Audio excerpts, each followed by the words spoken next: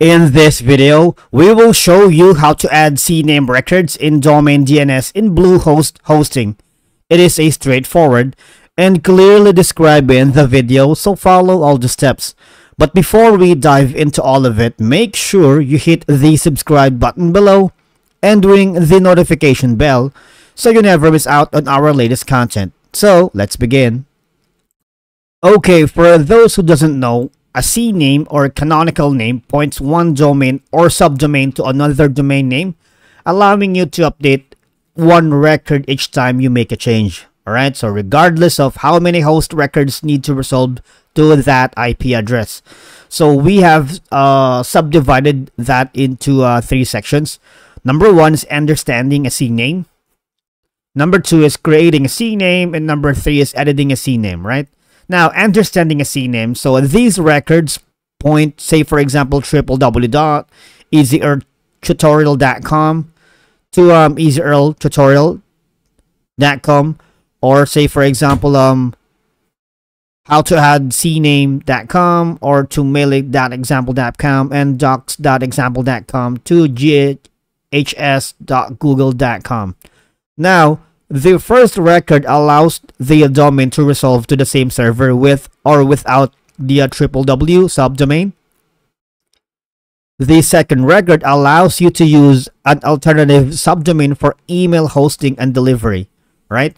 And the third section allows you to use the docs.example subdomain with Google Apps where you can use Google's document management system. Now, this type of record requires additional configuration with Google. Okay, so I think that's clear. Now, creating a CNAME, all you gotta do is log into your Bluehost hosting account. All right. Now, you need to go to the legacy, select the uh, DNS zone editor icon in the uh, domain section and then on the rock, click the uh, domains tab from the side navigation menu. Then select the uh, zone editor option. Of course, you need to select the uh, domain you're modifying from the uh, drop-down box. You need to scroll down to the heading named Add DNS Record.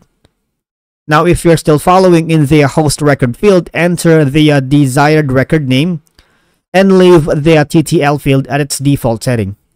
Now, all you're gonna do is select CNAME from their drop-down label type. In their points to field, enter the address that your record should resolve to. Other fields may appear depending on the type of record you are creating. Now, of course, you need to click on the Add Record button to create the record. Now, if you're planning to edit a CNAME, all you're gonna do is log into your Bluehost hosting account. All right, it's the it's the same process. Apart from uh, you're gonna need to uh, scroll down to the heading name CNAME. You need to click edit and make the necessary um, changes like the CNAME. And all going to do is click save and click on the add record button to create the record, right? Okay, so always remember that DNS changes might take some time to propagate across the internet. So the CNAME might not immediately take effect, so it can take anywhere from a few minutes to several hours for the changes to be uh, visible worldwide. But again, if you encounter any issues or if the interface varies in Bluehost, their support team can assist you in adding CNAME records specific to your domain and hosting setup. Okay, and that's it for today's video, guys. Thank you so much for watching. We will see you again in our next video.